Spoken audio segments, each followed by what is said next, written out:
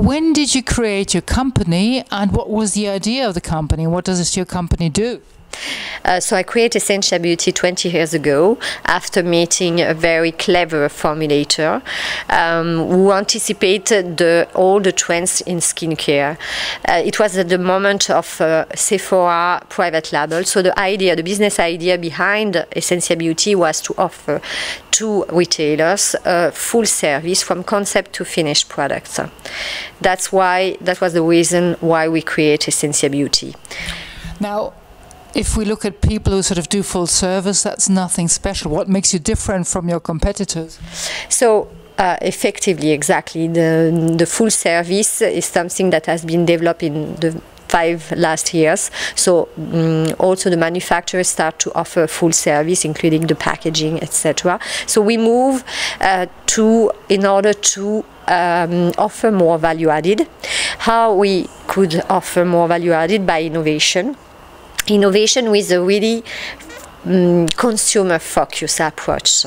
So, very marketing, trying to understand what can be the real expectation of the consumer, and from that, um, deciding to innovate in packaging, in formulation, in concept, in beauty concept, and even integrating the digital as a support to uh, be able to uh, offer the right product to the consumer. So we integrate this part because of the value added AI, in artificial intelligence, reality augmented, really have in the process of a product selection. Can you give us some examples of your latest innovations?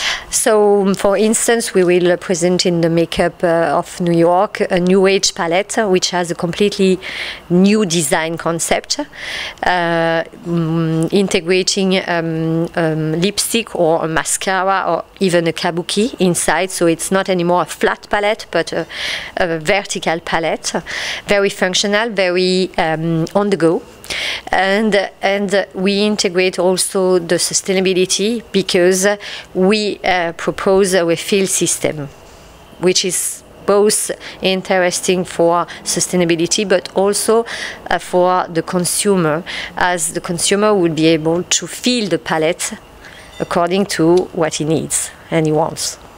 And in general, what is your attitude to sustainability? So we try to work on uh, uh, avoiding greenwashing. Uh, so trying to understand today what can be the best solution, anticipating what can be also the solution for tomorrow.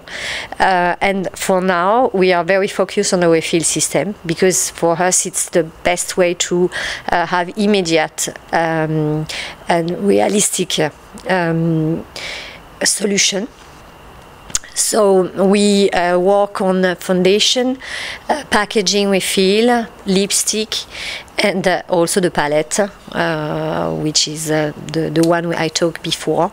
Uh, so we try to offer solution on for each category of product with refill system. And then we work also with new materials, but we think it's the second step because there is not for now a solution. So we think we have to work on that for the future, uh, and that's what we do.